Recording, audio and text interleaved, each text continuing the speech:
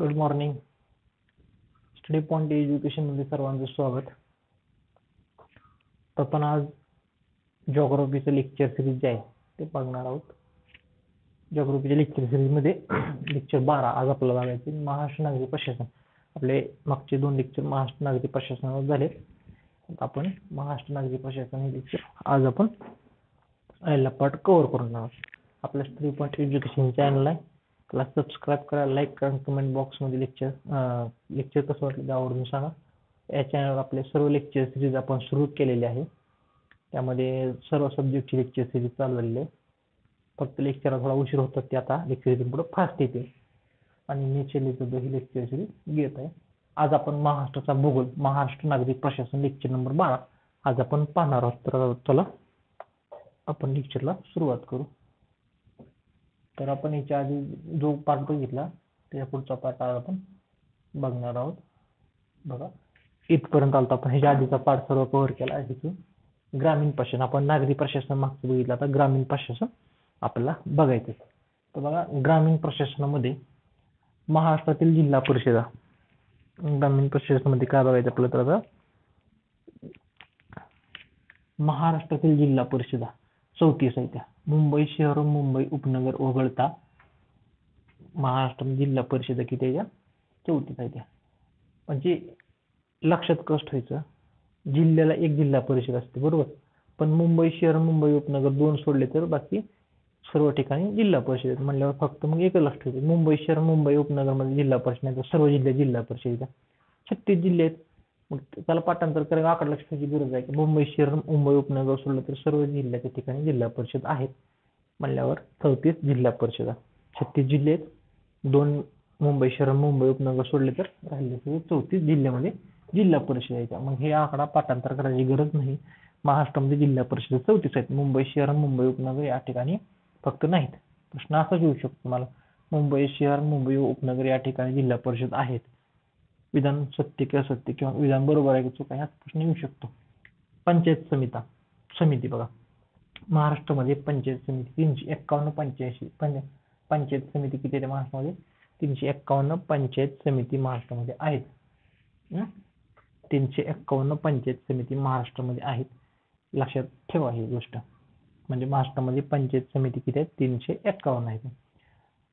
आणि ग्रामपंचायती बघा. अठ्ठावीस हजार तीनशे बत्तीस ग्रामपंचायती खेळ महाराष्ट्रामध्ये आहेत आणि खेड्यांची संख्या किती आहे तर ते त्रेचाळीस हजार सहाशे त्रेसष्ट महाराष्ट्रामध्ये खेडे आहेत ग्रामपंचायती अठ्ठावीस हजार तीनशे बत्तीस आणि त्याच्या दुप्पटच जवळजवळ असल्यासारखं त्रेचाळीस हजार सहाशे त्रेसष्ट खेड्यांची संख्या. म्हणजे अठ्ठावीस हजार ग्रामपंचायती आहेत आणि त्रेसष्ट हजार खेडे आहेत महाराष्ट्रामध्ये. पंचायत समिती किती? तीनशे एक्कावन्न आहे महाराष्ट्र जिल्हा परिषद व पंचायत समिती अधि समिती अधिनियम एकोणीशे एकसष्टनुसार ग्रामीण प्रशासनाचा कारभार चालतो. लक्षात आलं ग्रामीण प्रशासनाचा कारभार असेल तर. महाराष्ट्र जिल्हा परिषद. कायदे कोणते कोणते अधिनियम झालेत ते बघा. महाराष्ट्र जिल्हा परिषद पंचायत समिती अधिनियम एकोणीसशे एकसष्टनुसार ग्रामीण प्रशासनाचा कारभार चालतो. महानगरपालिकेचा कारभार एकोणीसशे एकोणपन्नासनुसार. कारभार एकोणीसशे आपला अठराशे अठ्ठ्याऐंशी नुसार. चालतो बरोबर? त्याच्यानंतर आपण काय बघितलं त्याच्यामध्ये? अजून एक बघितलं होतं. कटक मंडळाचा कारभार एकोणीसशे चोवीसनुसार चालतो. बरोबर? कटक मंडळाचे बघितलं होतं. आणि अजून एक गोष्ट बघितली ती कोणती? बाबा ज्यांच्या लक्षात त्यांच्या. मागची गोष्ट एक आपण पाहिली होती. नगरपालिकेचा कारभार एकोणीसशे पासष्टनुसार चालतो. बरोबर? म्हणजे नगरपालिकेचा कारभार एकोणीसशे पास महानगरपालिकेचा एकोणीसशे एकोणपन्नास बृहमुंबई एक अठराशे अठ्ठ्याऐंशी नगरपालिका एकोणीसशे पासष्ट कटक मंडळ एकोणीसशे चोवीस आणि एकोणीसशे एकसष्टनुसार ग्रामपंचायत ग्रामपंचायती महाराष्ट्र जिल्हा परिषद पंचायत समिती म्हणजे जिल्हा परिषद पंचायत समितीचा कारभार एकोणीसशे एकसष्टनुसार चालतो. यानुसार ग्रामीण परिषद चालते. म्हणजे अधिनियम पण लक्षात राहावे. यासाठी आपण रिव्हिजन केलं पाहिजे. मग लक्षात ह्या तिन्ही गोष्टी महाराष्ट्र जिल्हा परिषद चौतीस आहे त्या मुंबई शहर मुंबई उपनगर या ठिकाणी नाही पंचायत समिती तीनशे एक्कावन्न महाराष्ट्रामध्ये आहेत. आणि ग्रामपंचायती अठ्ठावीस हजार ग्रामपंचायती महाराष्ट्रामध्ये आहेत आणि त्रेचाळीस हजार महाराष्ट्रामध्ये खेडे आहेत. आणि दुसरी गोष्ट यांचा ग्रामीण प्रशासनाचा कारभार कसा चालतो. तर महाराष्ट्र ग्रा पंचायत समिती जिल्हा पंचायत जिल्हा परिषद पंचायत समिती अधिनियम एकोणीसशे एकसष्टनुसार ह्यांचा कारभार चालतो. म्हणल्यावर अधिनियम लक्षात राहू द्या. महानगरपालिकेसाठी एकोणीसशे एकोणपन्नासचा नगरपालिकेसाठी एकोणीसशे पासष्टचा बृहन्मुंबईसाठी एक अठराशे अठ्ठ्याऐंशीचा कटक मंडळासाठी एकोणीसशे चोवीसचा आणि आता जिल्हा परिषद पंचायत समितीसाठी एकोणीसशे एकसष्टचा. लक्षात राहिलं असेल. आता बघा आपण जेवढं आता बघितलं तेवढं जे काय प्रशासनामध्ये पार्ट बघितले ते थोडक्यात हे एक एकत्र दिलेलं आहे. महाराष्ट्रातील प्रशासकीय विभाग किती आहेत? तर आपलं ते आता बघायचं बघा. महाराष्ट्रामध्ये प्रशासकीय विभाग किती आहेत? तर सहा बघितले आपण. महाराष्ट्रातील जिल्हे किती आहेत? आपण छत्तीस माहिती आहे. महाराष्ट्रातील तालुके मुंबई उपनगरासह तीनशे अठ्ठावन्न येते मुंबई उपनगरसह महाराष्ट्रामध्ये तीनशे अठ्ठावन्न तालुके आहेत. महाराष्ट्र तालुके म्हणजे मुंबई उपनगरासह धरून. मुंबईची आता एक गोष्ट लक्षात आली तुम्हाला की मुंबई उपनगरमध्ये किती तालुके आहेत बघा कमेंट बॉक्समध्ये सांगा. ज्यांनी तालुक्यात लेक्चर बघितलंय त्यांना. पहिले पाच आणि शे सर्वात जास्त तालुके असणारे सर्वात कमी तालुके असणाऱ्यामध्ये म्हणजे आपण पाहिले. मुंबई शहरमध्ये झिरो तालुके आहेत मुंबई उपनगरमध्ये तीन तालुके आहेत. म्हणजे मुंबई उपनगरचे धरून तीनशे अठ्ठावन्न तालुके आहेत. लक्षात आलं? मुंबई उपनगर धरून तीनशे अठ्ठावन्न तालुके आहेत. महाराष्ट्रातील महानगरपालिकेत त्या सत्तावीस महानगरपालिका आपण बघितले महाराष्ट्रातील नगरपालिका किती आहे त्या? दोनशे चौतीस नगरपालिका महाराष्ट्रामध्ये आहेत त्या. ते पण बघितले आपण. महाराष्ट्रातील नगरपंचायत एकशे चोवीस आहेत ते पण पाहिलं आणि महाराष्ट्रातील जिल्हा परिषदा ते पण बघितलं आपण. चौतीस जिल्हा परिषद कारण की छत्तीस जिल्हे आहेत. मुंबई शहर मुंबई उपनगर या ठिकाणी जिल्हा परिषद नाही म्हणून चौतीस. आणि महाराष्ट्रातील पंचायत समिती आहे त्या तीनशे एक्कावन्न हे आपण एकत्र आज बघितलं ते एकत्र बघतो आपण. यात फक्त कटक मंडळ महाराष्ट्रात सात आहेत. अजून ते भारतात बासष्ट आहेत. ते फक्त नाही. बाकी सगळ्या बघा महाराष्ट्रातील प्रशासकीय विभाग सहा आहेत. महाराष्ट्रातील जिल्हे छत्तीस आहेत. महाराष्ट्रातील तालुके तीनशे अठ्ठावन्न महाराष्ट्रात तालुके टोटल सगळे. मुंबई उपनगर सगळे महाराष्ट्रातील महानगरपालिका सत्तावीस आहेत. महाराष्ट्रातील नगरपालिका ज्या त्या म्हणजे महाराष्ट्रात नगरपालिका ज्या आपण बघितल्या त्या किती दोनशे चौतीस नगरपालिका आहेत त्या. नगरपंचायती एकशे चौ चोवीस आहेत त्या. नगरपालिका एकशे दोनशे चौतीस पं नगरपंचायती एकशे चोवीस. आता बघा एक माहितीसाठी सांगतो मला महाराष्ट्रातील नगरपंचायत ह्याचा डाटा चेंज होऊ शकतो बरं का. का? नवीन अपडेट झाली तर. कारण की एकशे पंचवीस आणि दाट शक्यता आहे. कारण की सोलापूर जिल्ह्यातील बार्शी तालुक्यातील वैराग या ठिकाणी नगरपंचायत नवीन ऍड झालेली आहे. कळलं का? नवीन मान्यता प्राप्त झालेली आहे नगरपंचायतीला. त्यामुळे अपडेट डाटा बघा. एकशे चोवीस ठिकाणी एकशे पंचवीस होऊ शकते किंवा वाढलेला असू लागून अजून कुठे झालं तर. एक माहिती माहिती असतो वैराग या ठिकाणी झालेली एकशे पंचवीसावी नगरपंचायत आहे. आणि दुसरी महाराष्ट्रातील जिल्हा परिषद तीनशे एक्कावन्न. हा सॉरी जिल्हा परिषद चौतीस. म्हणजे महाराष्ट्रात जिल्हा परिषद किती येते चौतीस आहे. महाराष्ट्रातील पंचायत समिती किती येते त्या तीनशे एक्कावन्न पंचायत समिती आहेत. तर पंचायत तीनशे एकावन्न. हे असं पद्धतीने एकत्र डाटा आपण बघितलेला आहे. आता पुढचा पॉईंट आहे. तो बघायचा आपला कोणता ते. बघा. इथपर्यंत सर्वांना लक्षात आला असेल. बघा जिल्हा जिल्हा व जिल्ह्यातील सारख्या नावाचे तालुके. आता ही गोष्ट रिपीट रिपीट वाचावी लागते तरच लक्षात राहते. जिल्हा व जिल्ह्यातील सारख्या तालुका नावाचे तालुके आपल्याला बघायचे आहेत.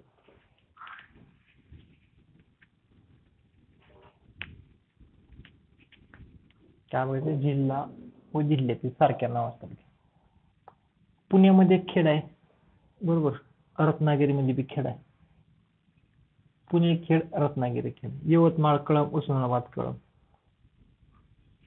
नाशिक नांदगाव अमरावती नांदगाव. म्हणजे जिल्हा व जिल्ह्यातील सारख्या नावाचे तालुके आहेत बघा. म्हणजे पुणे जिल्ह्यात खेड एक तालुका आहे रत्नागिरीमध्ये पण खेड तालुका आहे. म्हणजे त्या त्या जिल्ह्यातील तालुके सारखे तालुके आहेत बघायचं आपलं वर्धामध्ये कारंजा वाशिममध्ये कारंजा. लक्षात कसं ठेवायचं बघा? दोन्हीपैकी एक कोणतं तर लक्षात ठेवायचं? पुढचं आपोआप लक्षात आहे उस्मानाबादमध्ये कळम आहे ना? यवतमाळमध्ये कळम आहे. आपोआप आठवते. फक्त दोन्हीपैकी एक आठवलं पाहिजे आपल्याला. बघा.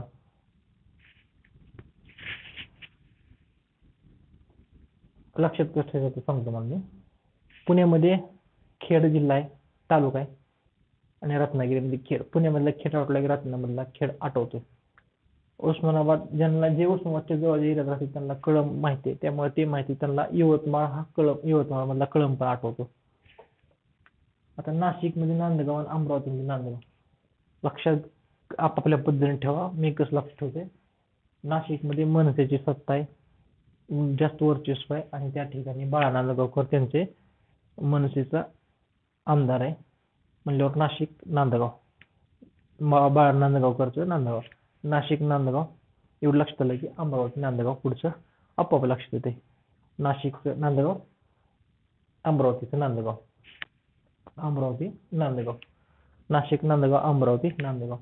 आणि वर्धाचं कारंजा वाशिम कारंजा. वर्धा कारंजा वाशिम कारंजा. हे फक्त लक्षात ठेव. वर्धा कारंजा वाशिम कारंजा. रिपीट बघा. पुण्यामध्ये खेड रत्नागिरीमध्ये पण खेड आहे. उस्मानाबादमध्ये कळम आहे यवतमाळमध्ये कळम आहे. लक्षात आलं नाशिकमध्ये नांदगाव अमरावतीमध्ये नांदगाव आणि वर्धामध्ये कारंजा वाशिममध्ये कारंजा. थोडक्यात हे लक्षात ठेवायचं व वर्ण वर्धा वाशिम कारंजा.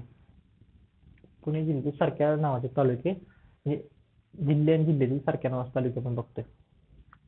डबल एकदा बघितलं e, पुणे खेड रत्नागिरी खेड उस्मानाबाद कळंब यवतमाळ कळंब नाशिक नांदगाव अमरावती नांदगाव वर्धा कारंजा वाशिम कारंजा. पुढचे बघा. आता हे पुढचं पण लक्षात राहील कसं हे पण लक्षात ठेवायचं सोपं रायगडमध्ये कर्जत अहमदनगरमध्ये कर्जत. आता रायगडमध्ये कर्जत आणि अहमदनगरमध्ये कर्जत. नगरमधून कर्जत कर्जत आहे हे रोहित पवार ह्या मतदारसंघात उभा होता कर्जत मतदारसंघात. मग नगरमधलं कर्ज दाखवलं की रायगडमधलं कर्जत आपोआप पाठवते. मग अहमदनगरमध्ये कर्जत आहे रायगडमध्ये पण कर्जत. लक्षात कष्ट नगरमधल्या कर्जतमध्ये रोहित पवार आमदार जे सध्याचे आहेत ते उभारले होते. म्हणल्यावर मग नगरमध्ये कर्जत रायगडमध्ये कर्जत. आता नाशिकमध्ये मालेगाव वाशिममध्ये मालेगाव. नाशिकचं मा मालेगाव कोरोनामुळे लक्षात आहे. मालेगावचं वाशिमचं मालेगाव पण लक्षात राहते आपोआप. मग कसं नाशिकचे मालेगाव वाशिमचं मालेगाव. परभणीमध्ये सेलू वर्धामध्ये सेलू. हे लक्षात फक्त ठेवायला परभणी परभणीमध्ये सेलू वर्धामध्ये सेलू. आणि पुणेमध्ये शिरूर बीडमध्ये शिरूर. पुण्यामध्ये शिरूर बीडमध्ये शिरूर. बघा कसं लक्ष ठेवायचं. पुण्यामध्ये शिरूर बीडमध्ये शिरूर. पुणे आणि बीड शिरूर शिरूर. आता डबल बघा. अहमदनगरमध्ये कर्जत आहे रायगडमध्ये कर्जत आहे. नाशिकमध्ये मालेगाव वाशिममध्ये मालेगाव. परभणीमध्ये सेलू. हे फक्त दोन गोष्टी लक्षात परभणीमध्ये सेलू वर्धामध्ये सेलू. आणि पुण्यामध्ये शिरूर. लक्षात आलं बीडमध्ये शिरूर. हे दोन गोष्टी फक्त वेगात जर ट्रेक लागत नाही. म्हणून ह्या दोन गोष्टी फक्त लक्षात परभणीमध्ये सेलू वर्धामध्ये सेलू पुण्यामध्ये शिरूर बीडमध्ये शिरूर डबल एकदा बघा. अहमदनगरमध्ये कर्जत रायगडमध्ये कर्जत. नाशिकमध्ये मालेगाव वाशिममध्ये मालेगाव परभणीमध्ये सेलू. परभणीमध्ये एकदा सेलू लक्षात आलं वर्धामध्ये सेलू. आणि खाली पुण्यामध्ये शिरूर बीडमध्ये शिरूर पुणे आणि बीड शिरूर हे एक येते फक्त परभणी सेलू आणि वर्धा एक सेलू.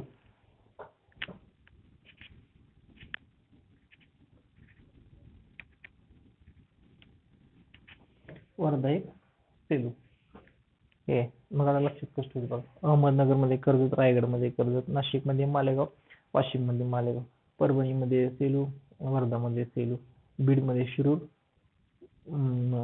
बीडमध्ये शिरूर एक आहे आणि पुण्यामध्ये एक शिरूर आहे. आणि त्याच्या आधीचे लक्षात पाहिजे पुण्यामध्ये खेड आहे रत्नागिरीमध्ये खेड आहे उस्मानाबादमध्ये कळम आहे यवतमाळमध्ये कळम आहे. बरोबर? त्यानंतर पण नाशिकमध्ये नांदगाव अमरावतीमध्ये नांदगाव. बरोबर? वर्धा आणि वाशिम कारंजा. व व वर्धा आणि वाशिम कारंजा कारंजा कारंजा. अहमदनगरमध्ये काय आहे पुढे? पुढचं.